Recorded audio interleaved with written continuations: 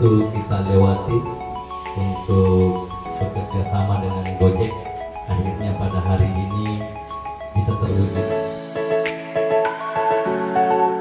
Hari ini Gojek juga akan melons Gojek Instan.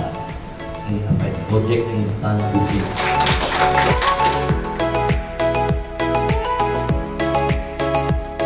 Kerjasama Gojek Makassar dengan FTU ini adalah yang pertama dari seluruh universitas